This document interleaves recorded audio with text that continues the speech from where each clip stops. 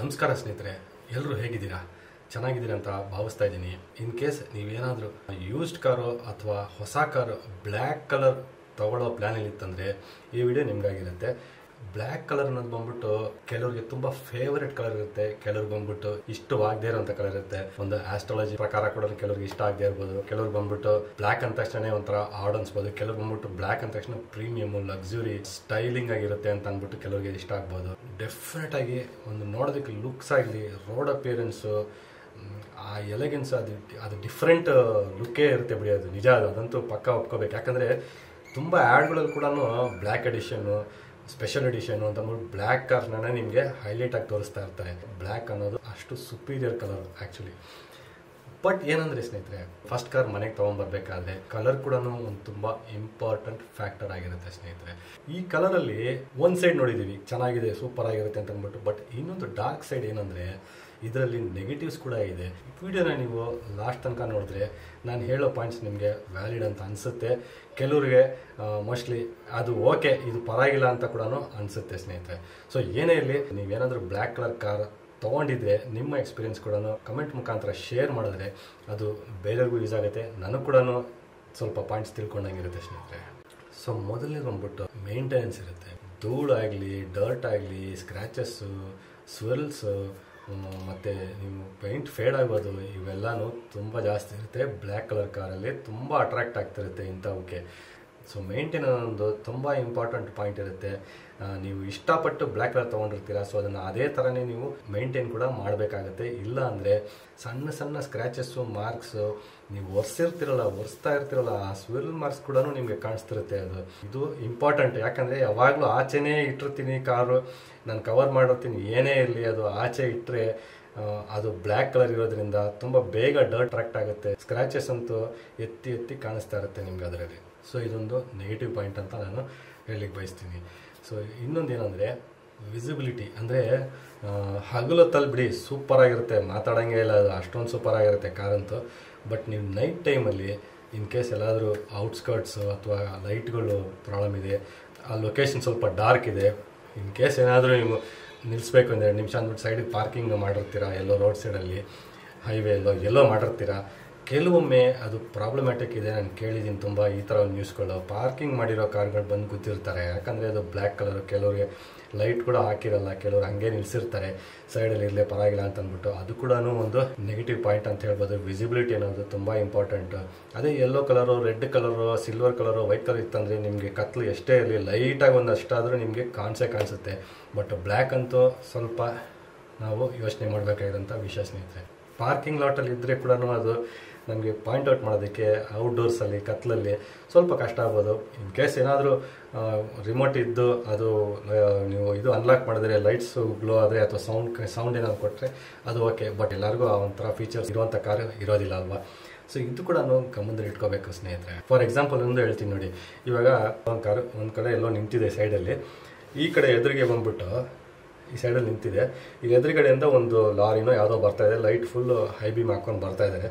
ನಾವು ಈ ಕಡೆಯಿಂದ ಓಡಿಸ್ಕೊಂಡು ಹೋಗ್ತಾ ಇದ್ದೀವಿ. ಈ ಇನ್ ಬಿಟ್ವೀನ್ ಏನಿದೆಯಲ್ಲ, ಎದುರಿಗೆ ಲೈಟ್ ಹೊಡೆದಾಗ ಇಲ್ಲಿ ಏನು ಕಾಣಿಸಲ್ಲ. ಇನ್ ಕೇಸ್ ಪಾರ್ಕ್ ಮಾಡಿದರೆ ಅಲ್ಲಿ ಬ್ಲ್ಯಾಕ್ ಕಲರ್ ಎಸ್ಪೆಷಲಿ ಅದು ಡೇಂಜರ್ ಅಲ್ವಾ?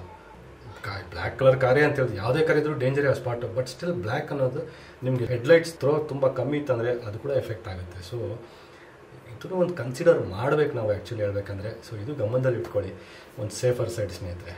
ಒಳ್ಳೇದಕ್ಕೋಸ್ಕರನೇ ಹೇಳ್ತಿರೋದು ಅಷ್ಟೇನೇನಿಲ್ಲ ಇದು. ಸೊ ತೊಗೊಳಕ್ಕಿಂತ ಮುಂಚೆನೇ ಇದು ತಿಳ್ಕೊಂಡ್ರೆ ಒಳ್ಳೇದು. ಅಷ್ಟೇ ನಂಗೆ ಬೇಕಾಗಿರೋದು. ಇನ್ನೇನಿಲ್ಲ ಸ್ನೇಹಿತರೆ. ಹೀಟ್ ಅಬ್ಸಾರ್ಪ್ಷನ್ ಇದು ಬಂದ್ಬಿಟ್ಟು one of the most important thing ನೀವು ಬ್ಲ್ಯಾಕ್ ಕನ್ಸಿಡರ್ ಮಾಡೋಕ್ಕಿಂತ ಮುಂಚೆ ಯೋಚನೆ ಮಾಡಬೇಕಾಗಿರೋಂಥ ವಿಷಯ. ನಾವು ಸಣ್ಣ ವಯಸ್ಸಲ್ಲೇ ಓದಿರ್ತೀವಿ. ಬ್ಲ್ಯಾಕು ವೈಟ್ಗೆ ಏನು ಡಿಫ್ರೆನ್ಸ್ ಯಾವುದು ಜಾಸ್ತಿ ಲೈಟ್ ಎಳ್ಕೊಳ್ಳುತ್ತೆ ಅಂದರೆ ವೈಟಾ ಬ್ಲ್ಯಾಕಾ ಅಂದರೆ ಬ್ಲ್ಯಾಕ್ ಅಂತ ಅಂದ್ಬಿಟ್ಟು ಎಲ್ಲರಿಗೂ ಗೊತ್ತಿರೋಂಥ ವಿಷಯ. ನೀವು ಒಂದು ವೈಟ್ ಕಾರು ಒಂದು ಬ್ಲ್ಯಾಕ್ ಕಾರ್ ಎರಡು ಪಕ್ಕ ಪಕ್ಕದಲ್ಲಿರಲಿ ಒಂದು ಒನ್ ಅವರು ಇಪ್ಪತ್ತು ನಿಮಿಷನೋ ನೀವು ಬಿಟ್ಬಿಡಿ. ಬಿಟ್ಟಿದ ತಕ್ಷಣ ನೀವು ಗಾಡಿನ ನೀವು ಬಾನೆಟ್ ಟಚ್ ಮಾಡೋದು ಅಥವಾ ನೀವು ಹೊರಗಡೆ ಕುತ್ಕೊಂಡು ನೋಡಿ ನಿಮಗೆ.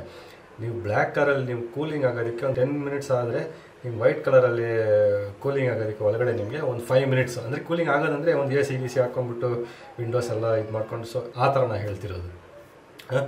ಇದಕ್ಕೆ ಬಂದುಬಿಟ್ಟು ನಿಮಗೆ ಬ್ಲ್ಯಾಕ್ ಕಲರ್ ಕಾರ್ಗೆ ಕೂಲಿಂಗ್ ಆಗೋದಕ್ಕೆ ಟೈಮ್ ಜಾಸ್ತಿ ತಗೊಳ್ಳುತ್ತೆ ಮತ್ತು ವೈಟ್ ಕಲರಲ್ಲಿ ಕೂಲ್ ಆಗೋದಕ್ಕೆ ಕಮ್ಮಿ ಟೈಮ್ ತಗೊಂತಿರುತ್ತೆ ವೈಟ್ ಅಂದರೆ ಬೆರಿ ವೈಟ್ ಅಲ್ಲ ಸಿಲ್ವರ್ ಆಗಿರ್ಬೋದು ರೆಡ್ ಬ್ಲೂ ಯಾವುದೇ ಇರಲಿ. ಬಟ್ ಬ್ಲ್ಯಾಕ್ ಕಲರ್ ಅನ್ನೋದು ಅಬ್ಸಾರ್ಪ್ಷನ್ ಹೀಟ್ ಅಬ್ಸಾರ್ಪ್ಷನ್ ಏನಿರುತ್ತಲ್ಲ ಲೈಟ್ನ ಹಿಡ್ಕೊಳ್ಳುತ್ತೆ ಹಂಗೆ ಅದು. ಆ ಬಿಸಿಲು ಏನು ಬರುತ್ತಲ್ಲ, ಅದು ಹಂಗೆ ಹಿಡ್ಕೊಂಡಿರುತ್ತೆ ಅದು. ಬೇಗ ಡಿಪ್ಲೀಟ್ ಆಗೋದಿಲ್ಲ ಅದು. ಆ ಹೀಟ್ ಹಂಗೆ ಇದ್ದು ಇದ್ದು ಏನಾಗುತ್ತೆ? ಟೋಟಲ್ ಕಾರ್ ಕೂಲ್ ಆಗೋದಕ್ಕೆ ಟೈಮ್ ಜಾಸ್ತಿ ತೊಗೊತಿರುತ್ತೆ. ನಿಮಗೆ ಟೈಮ್ ಜಾಸ್ತಿ ತೊಗೋಬಾರ್ದು ಅಂದರೆ ಎ ಸಿ ಚೆನ್ನಾಗಿರಬೇಕು. ಎ ಸಿ ಹಾಕ್ಕೊಂಡೇ ಇರಬೇಕು ನೀವು. ಎ ಸಿ ಜಾಸ್ತಿ ಹಾಕ್ಕೋಬೇಕು ಅಥವಾ ಆಟೋಮೆಟಿಕ್ ಕ್ಲೈಮೇಟ್ ಕಂಟ್ರೋಲ್ ಇವೆಲ್ಲನೂ ಬಂದ್ಬಿಟ್ಟಿದೆ. ಆಟೋಮೆಟಿಕ್ ಕ್ಲೈಮೇಟ್ ಕಂಟ್ರೋಲ್ ಇದ್ರೂ ಅಷ್ಟೇ. ಇವಾಗ ಅದು ತಕ್ಕಂಗೆ ಇವಾಗ ಅದು ಕೆಲಸ ಮಾಡೋಕ್ಕೆ ಶುರು ಹಚ್ಕೊಡುತ್ತೆ ಇವಾಗ ಆಟೋಮೆಟಿಕ್ ಕ್ಲೈಮೇಟ್ ಕಂಟ್ರೋಲ್ ಅಂದರೆ ಹೆಂಗೆ? ಇವಾಗ ಏನೊಂದು ಟೆಂಪ್ರೇಚರ್ ಇದೆ. ಆ ಟೆಂಪ್ರೇಚರ್ನ ನಾರ್ಮಲ್ ಮಾಡೋದಕ್ಕೆ ಆ ಆ ಎ ಸಿ ಬಂದ್ಬಿಟ್ಟು ಒಳಗಡೆ ಕೆಲಸ ಮಾಡ್ತಿರುತ್ತೆ ಅದು. ಸೊ ಅದಷ್ಟು ಕೆಲಸ ಮಾಡಬೇಕಂದ್ರೆ ಇಂಜಿನ್ ಕೆಲಸನೂ ಜಾಸ್ತಿ ಆಗ್ತಿರುತ್ತೆ. ಫ್ಯೂಲ್ ಇಳಿತಾ ಇರುತ್ತಲ್ವಾ? ಸೊ ಫ್ಯೂಲ್ ಜಾಸ್ತಿ ಇಳಿದಾಗ ಏನಾಗುತ್ತೆ? ಇಂಜಿನ್ನು ಕೆಲಸ ಜಾಸ್ತಿ ಆಗ್ತಿರುತ್ತೆ ಪ್ಲಸ್ ಮೈಲೇಜು ಕಮ್ಮಿ ಆಗ್ತಿರುತ್ತೆ ಪಿಕಪ್ಪು ಡೌನ್ ಆಗಿಬಿಟ್ಟಿರುತ್ತೆ. ಸೊ ಇಷ್ಟೆಲ್ಲನೂ ಇರುತ್ತೆ ನಿಮಗೆ. ಎಸ್ಪೆಷಲಿ ಬ್ಲ್ಯಾಕ್ ಕಲರ್ ಕಾರಲ್ಲಿ ಎ ಸಿ ಇಲ್ಲ ಅಂದರೆ ತುಂಬ ನರಕ ಅನುಭವಿಸ್ತೀರ ಸ್ನೇಹಿತರೆ? ಅದಂತೂ ನಾನು ಹೇಳ್ಬಿಡ್ತೀನಿ. ಯಾಕಂದರೆ ರೀಸೆಂಟಾಗಿ ನನ್ನ ಫ್ರೆಂಡ್ ಒಬ್ಬರು X U V five hundred ತೊಗೊಂಡಿದ್ದಾರೆ. Second and ಕೊಡಿ, ತೊಗೊಂಡಿದ್ದಾರೆ. ಅದು ಎಂಥ ದೊಡ್ಡ ಕಾರು ಎಂಥ ಸ್ಪೇಷಿಯಸ್ ಕಾರು, ಇವರು ಒಂದು ನಾಲ್ಕೈದು ಜನನೇ ಇದ್ದಾರೆ ಅಷ್ಟೇ. ಅದರಲ್ಲಿ ಎಲ್ಲ ಲಾಂಗ್ ರೈಡ್ ಹೋಗಿದ್ದಾರೆ. ಹೋಗ್ಬಿಟ್ಟು ಬರೋದಾರಿಲಿ ಎಲ್ಲೋ ಊಟಕ್ಕೆಲ್ಲ ನಿಲ್ಲಿಸಿದ್ದಾರೆ ಒಂದು ಮೂವತ್ತು, ಮೂವತ್ತೈದು ನಿಮಿಷ ನಿಲ್ಲಿಸಿದ್ದಾರೆ ಅಂತೆ ಓ ಒಳಗಡೆ ಕುತ್ಕೊಳ್ತಿದ್ದಾರೆ. ಬಗ ಬಗ ಬಗ ಬಗ ಅಂತ ಇದೆ ಅಂತ ಅಷ್ಟು ಬಿಸಿಲು ಎಳ್ಕೊಂಡು ಇಟ್ಕೊಂಡ್ಬಿಟ್ಟಿದೆ ಅದು. ಅದರಿಂದ ಸುಧಾರಿಸ್ಕೊಳ್ಳೋದಕ್ಕೆ ಒಂದು ಹದಿನೈದರಿಂದ ಹದಿನೇಳು ನಿಮಿಷ ಆಯಿತು ಅಂತ ಹೇಳ್ತಾನೆ. ಅದು ಚೆನ್ನಾಗಿದೆ. ಎಲ್ಲ ಎ ಸಿ ಗಿ ಸಿ ಎಲ್ಲ ಪರ್ಫೆಕ್ಟ್ ವರ್ಕಿಂಗ್ ಕಂಡೀಷನ್ ಇದ್ದು ಅಷ್ಟೊತ್ತಾಯ್ತಂತೆ ಅವ್ರಿಗೆ. ಇದರಿಂದ ಆಚೆ ಬರೋದಕ್ಕೆ. ಯಾಕಂದರೆ ಅವರು, ಅವರ ನಮ್ಮ ಫ್ರೆಂಡ್ ಇದ್ರಲ್ಲಿ ಒಬ್ಬರು ಫ್ಯಾಮಿಲಿಗೆ ಹೋಗ್ಬಂದ್ಬಿಟ್ಟು ಬಂದ್ಬಿಟ್ಟು ಸ್ವಲ್ಪ ವಯಸ್ಸಾದವರಿದ್ದಾರೆ. ಅವ್ರಿಗೆ ಬಂದು ಸಫಕೇಷನ್ನು ಸೊ ಈ ಥರ ಪ್ರಾಬ್ಲಮ್ ಅವ್ರಿಗೆ ಗಾಳಿ ಬೇಕು, ಚೆನ್ನಾಗಿ ಬಿಸಿಲು ಆಗಲ್ಲ ಬಿಸಿಲು ಬಂತಂತೆ ಸ್ವಲ್ಪ ರ್ಯಾಷಸ್ ಬರುತ್ತೆ. ಸೊ ಈ ಥರ ಕೇಸ್ಗಳಿದೆ. ಸೊ ಇಂಥವ್ರಿಗೆಲ್ಲ ತುಂಬ ತೊಂದರೆ ಅಲ್ವಾ ಇದು?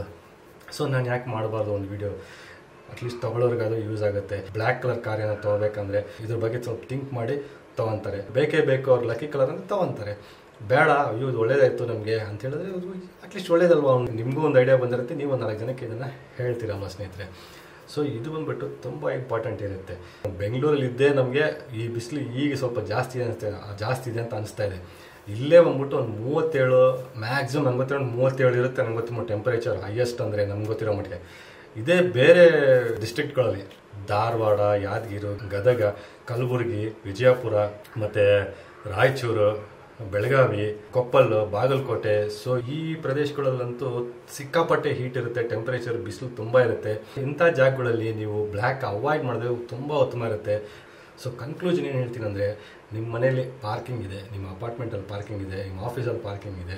ನೀವು ಹೋಗಿ ಬರೋ ಜಾಗಗಳಲ್ಲಿ ನಿಮ್ಗೆ ಏನು ತೊಂದರೆ ಇಲ್ಲ ಗಾಡಿಗೆ ನಿಲ್ಸ್ಕೊಳ್ಳೋದಕ್ಕೆ ನಿಮಗೆ ಅಂದರೆ ಡೆಫಿನೆಟಾಗಿ ನೀವು ಬ್ಲ್ಯಾಕ್ ಕಲರ್ ತೊಗೊಳ್ಳಿ ಸಾಲಿಡ್ ಆಗಿರುತ್ತೆ, ನೋಡೋದಕ್ಕೆ ಲುಕ್ಸ್ ಮೈಂಡ್ ಬ್ಲೋಯಿಂಗ್ ಅದು ಬಿಡಿ, ಬೇರೆ ಕಥೆನೇ ಅದು. ಅಷ್ಟು ಚೆನ್ನಾಗಿರುತ್ತೆ ಅದು.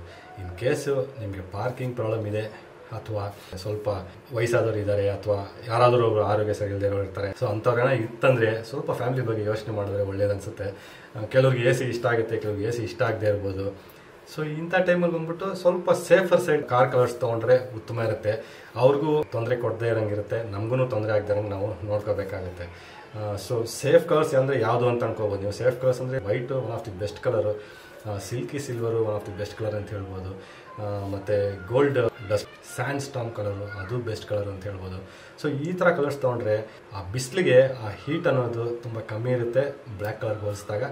ಮತ್ತು ಪೇಂಟ್ ಕ್ವಾಲಿಟಿ ಕೂಡ ತುಂಬ ಒಂದು ವರ್ಷಗಳು ನಮಗೆ ಲೈಫ್ ಕೊಡುತ್ತೆ. ಬೇಗ ಫೇಡ್ ಕೂಡ ಆಗೋದಿಲ್ಲ ಸ್ನೇಹಿತರೆ. ಸೊ ಈ ವಿಡಿಯೋ ಇಷ್ಟ ಆಗಿದ್ರೆ ದಯವಿಟ್ಟು ಒಂದು ಲೈಕ್ ಕೊಡಿ. ನನಗೂ ಒಂದು ಗೊತ್ತಾಗುತ್ತೆ ಓಕೆ ನಿಮ್ಗೆ ರೀಚ್ ಆಗ್ತಿದೆ, ಇಷ್ಟ ಆಗಿದೆ ಅಂತ ಅಂದ್ಬಿಟ್ಟು ನಾವು ಮಾಡ್ತಿರೋ ಒಂದು ಕಾಂಟೆಂಟ್ ಹೊಸಬ್ರು ಏನಾದರೂ ನನ್ನ ಚಾನಲ್ನ ವೀಕ್ಷಿಸ್ತಿದ್ರೆ ದಯವಿಟ್ಟು ಸಬ್ಸ್ಕ್ರೈಬ್ ಮಾಡಿಕೊಂಡು ನನಗೆ ಸಪೋರ್ಟ್ ಮಾಡಿ ಸ್ನೇಹಿತರೆ.